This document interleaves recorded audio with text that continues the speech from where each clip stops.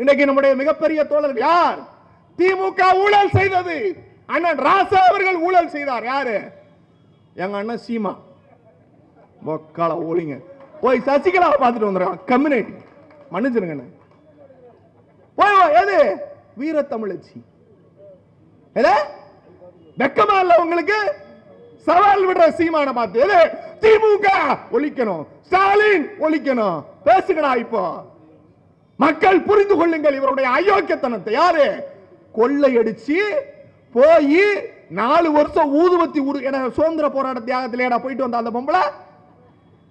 இல்ல ஈழத்துக்கு துப்பாக்கி எடுத்துட்டு போயிட்டு பிரபாகரனோட நின்று சண்டை போட்டு வந்துச்சா அந்த அம்மா? இல்ல அந்த அம்மா வந்துச்சா? சண்டை போட்டு வந்துச்சா? உங்களுக்கு யாருக்கா தெரியுமா? இவர் போய் உட்காந்து ஒரு மணி நேரம் உரையாடினார். என்ன உரையாடின? எவ்வளவு கோடி இருக்கு? கூட்டணி போட்டுக்கலாம். இவர்களெல்லாம் இந்த நாட்டை காப்பாற்ற வருகிறார்கள் இவர்களெல்லாம் இந்த நாட்டை கையை தூக்கி உயர்த்தி பேசு. நான் தான் சொன்னேன் ஒரு லைவ்ல என் கூட அவர் உட்கார்ந்து காணொலி பார்த்துருப்பீங்க.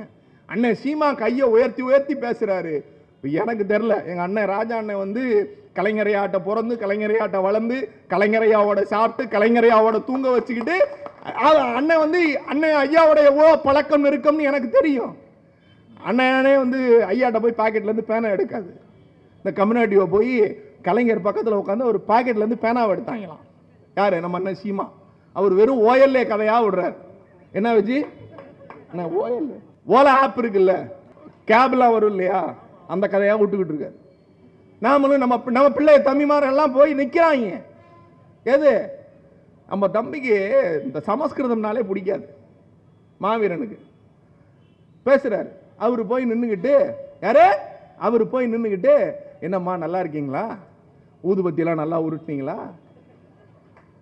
இதுதான் நண்பர்களே it is not a courtesy visit courtesy விசிட்னா நீ பார்த்துட்டு போயிடணும் அங்கே உட்கார்ந்து அவர் தியாகம் செய்திருக்கிறார்.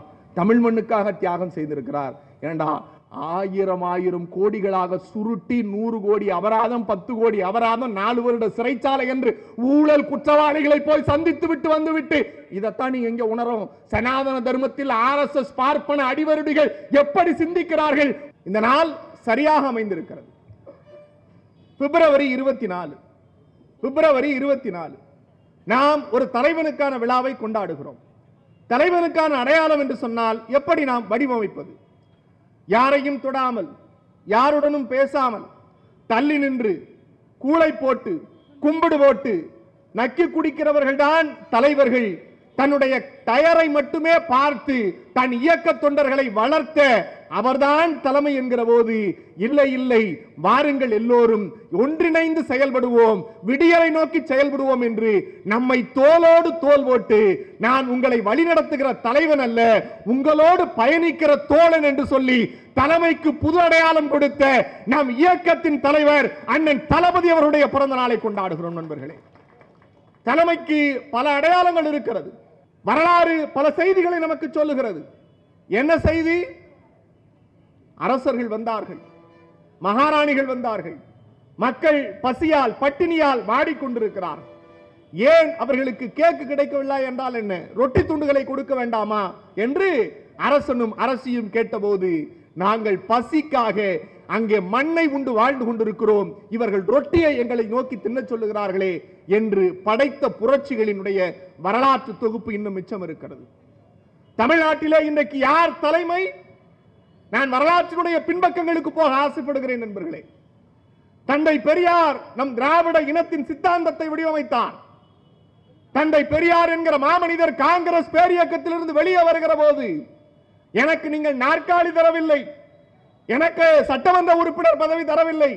நாடாளுமன்ற உறுப்பினர் பதவி தரவில்லை. இல்லை நீங்கள் என்னை முதலமைச்சராக்கவில்லை. என்னை அடித்து ராஜினாமா கடிதம் வாங்கினீர்கள் என்பதற்காக வெளியே வரவில்லை. அவர் வெளியே வரவில்லை. அவர் சொன்ன இரண்டு காரணம். என் தாய்மொழியான தமிழை புறக்கணித்து இந்த காங்கிரஸ் காரிய கமிட்டியிலே இந்தியில் தான் பேச வேண்டும் என்கிற தீர்மானத்தை எதிர்த்து நான் வெளிநடப்பு செய்கிறேன் என்று தந்தை பெரியார் சொன்னார். அத்தோடு நின்றுவிடவில்லை. வாவேசு ஐயர் நடத்துகிற அந்த உணவகத்தில் பார்ப்பனர்களுக்கு தனி உணவு மற்ற சமூகத்தினருக்கு தனி உணவு ஒரு நவீன தீண்டாமையை காங்கிரஸ் கமிட்டி கொடுக்கிற அந்த படத்திலே நடக்கிறது. இதை நான் அனுமதிக்க மாட்டேன். இதை கண்டித்து தீர்மானம் போட வேண்டும். அந்த நிதியை நிறுத்த வேண்டும் என்று தந்தை பெரியார் சொன்னார். அரசியல் இயக்கம் தொடங்கினாரா? மக்களுக்கான பேர் இயக்கத்தை தொடங்கினார். அப்படி தந்தை பெரியாரிடத்திலே தந்தை பெரியார் பல மாணாக்கர்களை உருவாக்கினார். அந்த மாணாக்கர்களில் இரண்டு பேர் வேறுபட்டு நின்றார்கள். அவர்கள் பேரறிஞர் அண்ணா தலைவர் கலைஞர். தந்தை பெரியாரிடத்திலிருந்து மாறுபட்டு ஒரு அரசியல் அல்லாத மக்கள் பேரியக்கத்தை கட்டியமைக்கிற ஒரு மாபெரும் தலைவராக மானமும் அறிவும் மனிதனுக்கு என்று சொல்லி தந்தை பெரியார் ஒரு இயக்கம் காணுகிறார். தந்தை பெரியார் அந்த இரண்டு செய்திகளிலேயே ஒன்று இந்தி வரக்கூடாது மற்றொன்று பார்ப்பனனுக்கான உயர் மரியாதை கொடுத்தால் அதை நான் எதிர்ப்பேன் என்று இந்த மண்ணுக்கான சாராம்சத்தை அன்று விதைத்து விட்டு வந்தார். தந்தை பெரியார் மறைந்து போகிறார். அவர் மறைந்து விட்டால் அத்தோடு முடிந்து விட்டது. இந்த திராவிட இயக்கம் திராவிட சித்தாந்தம் அழிந்து போய்விடும். அழிந்து விட்டால் நம் பார்ப்பனிய சனாதனத்தை இங்கே கொண்டு வந்து விடலாம் என்று எத்தனித்தார்கள். அந்த எத்தனிப்பு தான் பேரறிஞர் அண்ணா வெளியே வருகிறார். வருகிற போது நம்முடைய பார்த்தசாரதி ஐயங்கார் கல்கியிலே எழுதுகிறார். தந்தை பெரியாரிடத்திலிருந்து வந்து விட்டார் தந்தை பெரியார் தோற்றுவிட்டார். தந்தை பெரியாரின் சித்தாந்தம் தோற்றுவிட்டது. காலம் ஒவ்வொருவரை நமக்கு கண்முன்னே காட்டிக் கொண்டிருக்கிறது. பேரறிஞர் அண்ணா வந்தார். அண்ணன் ராசா அவர்கள் நம்முடைய ராயபுரம் ராபின்சன் பூங்காவிலே நடைபயணம் மேற்கொண்டார். அப்படி மேற்கொண்ட போது அங்க இருக்கிற கல்வெட்டுகளை பார்த்தார் அங்க இருக்கிற மக்களை பார்த்து உரையாடினார். நம்முடைய வர்த்தகரணி செயலாளர் அண்ணன் காசி முத்துமாணிக்கம் அவர்கள் வருகிறார். அவரையும் வரவேற்று உரையை தொடரலாம். ராபின்சன் பூங்காவிலே அண்ணா இப்படித்தான் பேசுகிறார். என்ன சொன்னார்? நாங்கள் இங்கே நடுகிறோமே அது ஒரு ஒட்டு- ஒட்டு மாஞ்சடி. நான் பேசிக் கொண்டிருக்கிற போது மழை பொழிகிறது.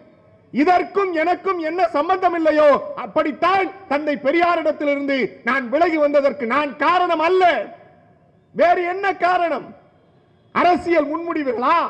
அல்லது அரசியல் சித்தாந்தத்தில் வேறுபாடுகளா? தந்தை பெரியாருக்கும் அண்ணாவுக்கு பெரிய சண்டை வந்தது. கருத்து முரண்பாடு வந்தது. தந்தை பெரியார் கோபத்தின் உச்சியில் இன்னும் தகாத வார்த்தைகளை பயன்படுத்தினார்.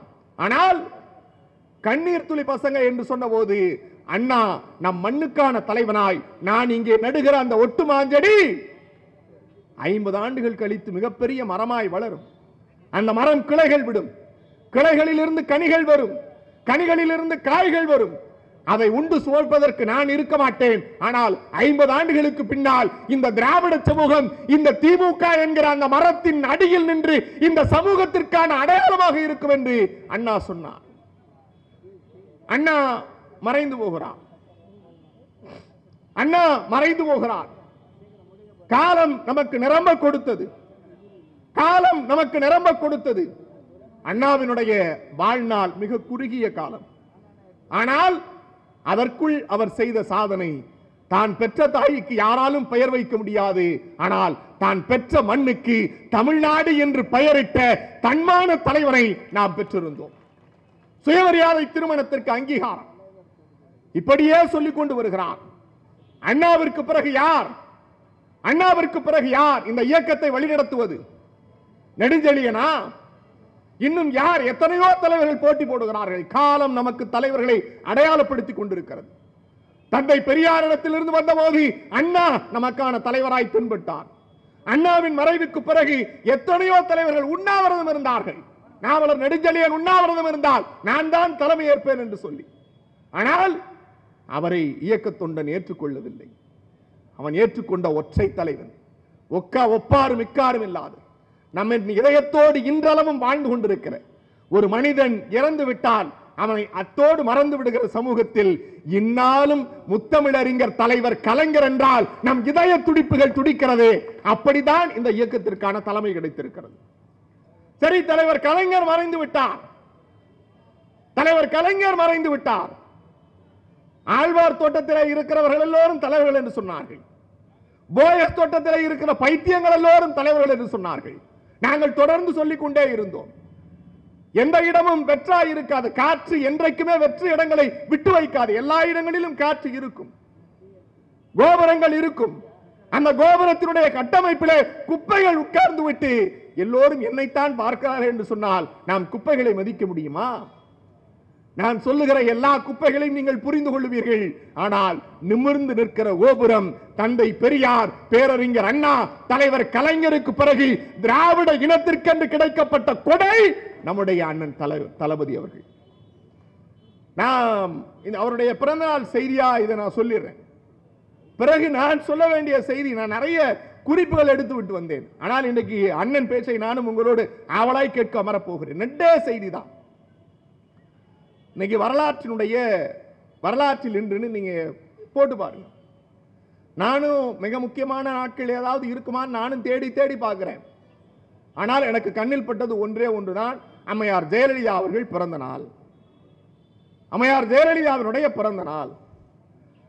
அங்கிருந்து வந்து கொண்டிருக்கிற போது நம்முடைய அலைபேசியிலே என்ன விவாத தலைப்புன்னு பார்த்துக்கிட்டு வந்தேன்.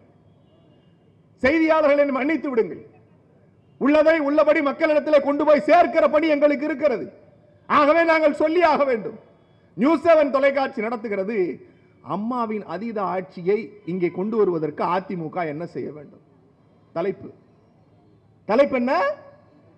அம்மாவின் அதிமுக ஆட்சியை இங்கே கொண்டு வருவதற்கு அதிமுகவினர் செய்ய வேண்டியது என்ன? கொள்ளையடிக்கிறது? தான் வேற என்ன? நான் நான் இந்த விவாதத்துக்கு நான் போயிருந்தேன்னா பச்சை பச்சையா கேட்டு வந்திருப்பேன். உங்களுக்கு வெக்கமா இல்லையா? கொஞ்சமாவது சூடு சுரணை இல்லையா?